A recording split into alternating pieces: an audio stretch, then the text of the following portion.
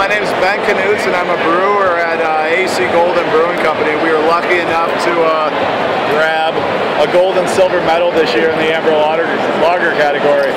So this is our Colorado Native uh, Amber Lager and our Colorado Native Golden Lager, which will be coming out in the next couple months. Um, we were we were large brewing company of the year this year. Um, we, we make a lot of really fast-paced, exciting beers.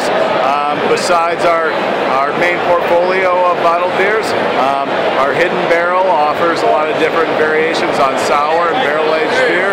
And uh, we have a, we have some really cool six packs available. We have our India Pale Lager, we have our Amber Lager, our Golden Lager will be coming out soon, as well as our Barman Pilsner and our HJ, our Herman Joseph's uh, German style lager. But uh, but thanks to you guys and uh, cheers.